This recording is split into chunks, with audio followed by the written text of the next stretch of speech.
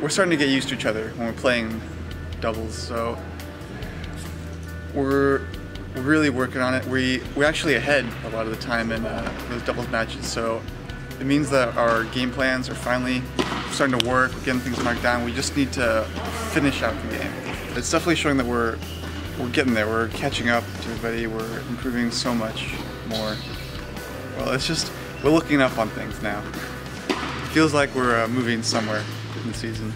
Um, yeah, that was a big change of pace for us. Um, we were really focused on trying to get doubles wins against the Division One. We knew they were going to be really, really strong singles, um, and we we gave them a good run for their money on doubles. And but we gave them we gave them a lot of good looks, and we hung with them. We really did. It was a, it was a great experience gives us big confidence. Last season we weren't coming away from those teams with wins. This season, not only did we win, but we won big. We swept Willamette and we walked away 8-1 against PLU. Um, knowing that we hung in with Division One Air Force, again a confidence booster, and uh, the team morale is really high right now, really high. And the returners are pumped, freshmen are looking really strong, and the lineup's looking good this year.